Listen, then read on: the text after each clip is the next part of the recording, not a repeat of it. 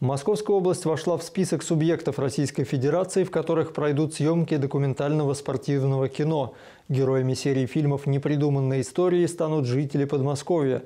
В настоящее время ведется поиск героев для кино. Спортсмены, их тренеры и наставники с необычной судьбой и уникальной историей. А тех, кому спорт помог преодолеть сложные жизненные испытания, научил идти вперед и не бояться трудностей. Проект реализуется при поддержке федерального проекта «Спорт. Норма жизни» нацпроекта «Демография». Истории героев необходимо направлять на электронную почту реал, нижнее подчеркивание, story, собака, Заявки принимаются до 25 мая.